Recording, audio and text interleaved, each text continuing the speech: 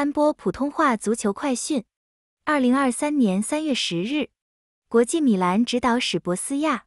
周六凌晨，意甲地面六轮率先上演一场较量，由史博斯亚主营国际米兰。M 直播届时将会有本场赛事的现场直播。史博斯亚排名意甲倒数第四，反观国际米兰高居积分榜次席，加之双方近五次意甲交手成一面倒之势。各方面均占优的蓝黑军团此行全取三分，易如反掌。虽然经济是史博斯亚连续第三个赛季征战意甲，但他们依旧未能站稳脚跟。目前二十五轮联赛过后，只比降班区高出三分，面临住巨大的保组压力。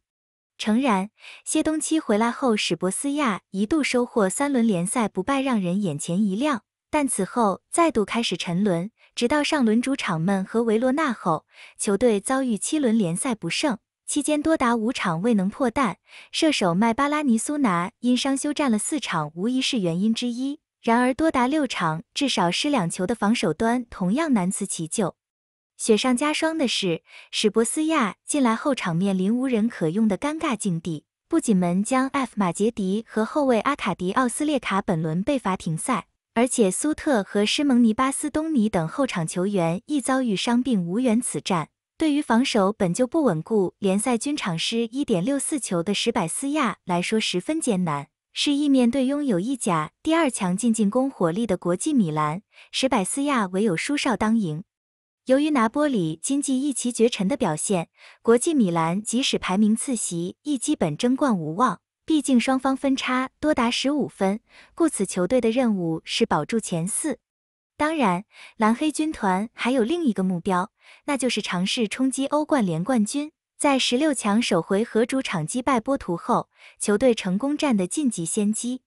鉴于欧冠联十六强次回合将在下周中进行，而下周末又要恶战祖云达斯。因此，本轮与史博斯亚一战算是国际米兰进入魔鬼赛程前最后的甜蜜。蓝黑军团当然希望以一场大胜来开启之后的恶战。